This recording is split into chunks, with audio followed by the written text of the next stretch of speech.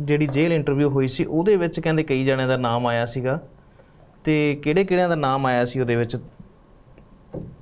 ਦੇਖੋ ਨਾਮ ਤੇ ਆ ਚੁੱਕੇ ਆ ਗੁਰਸ਼ੇਰ ਸਿੰਘ ਦਾ ਆਇਆ ਇੱਕ ਸਮਰਵਨੀਤ ਡੀਐਸਪੀ ਉਹਦਾ ਆਇਆ ਫਿਰ ਉਹ ਤੋਂ ਹੇਠਾਂ ਡੀਐਸਪੀ ਤੋਂ ਰੈਂਕ ਹੁੰਦਾ ਇਨਸਪੈਕਟਰ ਸਬ ਇਨਸਪੈਕਟਰ ਜੀ। ਕੁਛ ਇਹਦੇ ਚ ਮੇਰੇ ਖਿਆਲ ਦੇ ਨਾਲ ਹੌਲਦਾਰ ਤਾਂ ਕੁੱਲ ਮਿਲਾ ਕੇ 6-7 ਤੇ ਆ ਗਏ ਸੀਗੇ। ਹੂੰ ਹੂੰ। ਪਰ ਬਚ ਗਿਆ ਉਦੋਂ ਦਾ ਐਸਐਸਪੀ ਜਿਹਦਾ ਹੁਣ ਰੇੜਕਾ ਹੈ ਕੋਰਟ। ਦੇ ਵਿੱਚ ਕਚਹਿਰੀ ਦੇ ਵਿੱਚ ਕਿ ਭਾਈ ਉਹਦੇ ਤੇ ਕਾਰਵਾਈ ਕਿਉਂ ਨਹੀਂ ਹੈ? ਬਿਲਕੁਲ। ਅੱਛਾ ਇੱਕ ਅੰਗਰੇਜ਼ੀ ਅਖਬਾਰ ਨੇ ਤੇ ਇਹ ਵੀ ਦਾਵਾ ਕੀਤਾ ਕਿ ਅਫਸਰ ਦੇ ਦਫ਼ਤਰ ਨੂੰ ਸਟੂਡੀਓ ਬਣਾਇਆ ਗਿਆ ਕਹਿੰਦੇ ਵਾਈਫਾਈ ਵੀ ਸਰਕਾਰੀ ਉੱਥੇ ਯੂਜ਼ ਕਰਵਾਇਆ ਗਿਆ। ਇਹ ਵੀ ਇੱਕ ਜੱਗੋਂ ਤੇਰਵੀਂ ਗੱਲ ਹੈ ਸਾਹਿਬ ਨਵੇਂ ਨਵੇਂ ਖੁਲਾਸੇ ਹੋ ਰਹੇ ਤੇ ਨਵੇਂ ਨਵੇਂ ਵਿਚਿੱਤਰ ਇਸ਼ਕ ਦੀ ਨਵੀਂ ਨਵੀਂ ਬਹਾਰ ਹੈ ਇਹ ਇਹਨਾਂ ਦੇ ਰਾਜ ਦੀ ਨਵੀਂ ਨਵੀਂ ਬਹਾਰ ਹੈ ਬਾਹਰ ਹੈ ਬਿਲਕੁਲ ਜੀ। ਤਾਂ ਗੱਲ ਇਹ ਆ ਕਿ ਭਈ ਇਹ ਸਾਰਾ ਕੁਝ ਜਿਹੜਾ ਹੈ ਉਹ ਹੁਣ ਇੰਨਾ ਪੁੱਠਾ ਪੈ ਰਿਹਾ ਨਾ ਵਾਸਤੇ ਕਿ ਇੱਕ ਤੇ ਸ਼ਾਇਦ ਮੇਰੇ ਖਿਆਲ ਦੇ ਨਾਲ ਜੋ ਹੇਠਾਂ ਕੋਰਟ ਹੈ ਉਹਦੇ ਜਿਹੜੇ ਜੱਜ ਸਾਹਿਬ ਹੈ ਉਹਨਾਂ ਨੂੰ ਵੀ ਸੱਦ ਲਿਆ ਗਿਆ ਹੈ। ਹੂੰ। ਇਹਦੇ ਵਿੱਚ ਜੇ ਆਪਾਂ ਦੇਖੀਏ ਕਿਉਂਕਿ ਖਬਰ ਮੈਂ ਕਾਲੀ ਕਾਲੀ ਚ ਹੀ ਦੇਖੀ ਆ ਮੈਂ ਐਵੇਂ ਕਹਾਂ ਮੈਨੂੰ ਕੋਈ ਇਹਦੀ ਬਹੁਤੀ ਜ਼ਿਆਦਾ ਤਫਸੀਲ ਬਾਰੇ ਪਤਾ ਨਹੀਂ ਹੈ। ਪਰ ਮੈਂ ਕੋਸ਼ਿਸ਼ ਕਰਾਂਗਾ ਕਿ ਇਹਦੇ ਚ ਜੋ ਇੱਕ ਕਹਿ ਲਓ ਕਿ ਸਹੀ ਜਾਣਕਾਰੀ ਆ ਉਹ ਹੀ ਅੱਗੇ ਪਾਸ ਕਰੀਏ ਅਸੀਂ।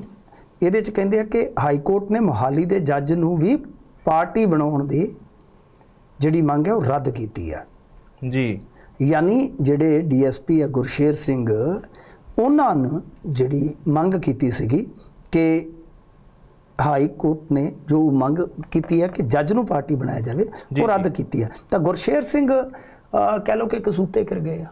ਇਸ ਮਾਮਲੇ ਦੇ ਵਿੱਚ। ਪਰ ਸਭ ਤੋਂ ਵੱਡੀ ਗੱਲ ਚਲੋ ਇਹ ਤਾਂ ਹੁਣ ਕੋਰਟ ਨੇ ਤੈਅ ਕਰਨਾ ਕਿਹਦੇ ਤੇ ਕਾਰਵਾਈ ਹੋਏਗੀ ਕਿਹਦੇ ਤੇ ਨਹੀਂ ਹੋਏਗੀ ਸਭ। ਜੀ ਜੀ ਕੋਰਟ ਨੇ ਦੇਖਣਾ ਕੋਰਟ ਦੀ ਨਿਗਰਾਨੀ ਹੇਠ ਹੈ ਸਾਰਾ ਕੁਝ ਕੋਰਟ ਨੇ ਤੇ ਇੱਥੋਂ ਤੱਕ ਕਹਿ ਦਿੱਤਾ ਸੀਗਾ ਕਿ ਅਸੀਂ ਫਿਰ ਕਿਸੇ ਦੂਸਰੀ ਏਜੰਸੀ ਪਾਸ ਵੀ ਜਾ ਸਕਦੇ ਹਾਂ। ਜੀ। ਤਾਂ ਬਈ ਗੱਲ ਇਹ ਆ ਕਿ ਇਸ ਮਾਮਲੇ ਦੇ ਵਿੱਚ ਮੈਨੂੰ ਇਉਂ ਲੱਗਦਾ ਕਿ ਸਰਕਾਰ ਬਹੁਤ ਕਸੂਤੀ ਕਰ ਗਈ ਆ। ਜੀ। ਕਾਰਵਾਈ ਕਰਦੀ ਹੈ ਤਾਂ ਐਸਐਸਪੀ ਪਤਾ ਕੌਣ ਹੈ? ਸਰਕਾਰ ਦਾ ਲਾਡਲਾ ਉਸ ਵੇਲੇ ਦਾ ਸੋਨੀ। ਬਿਲਕੁਲ। ਤੇ ਜੇ ਨਹੀਂ ਕਰਦੇ ਤੇ ਹਾਈ ਕੋਰਟ ਜਿਹੜਾ ਹੈ ਉਹ ਡੰਗਦਾ ਹੈ।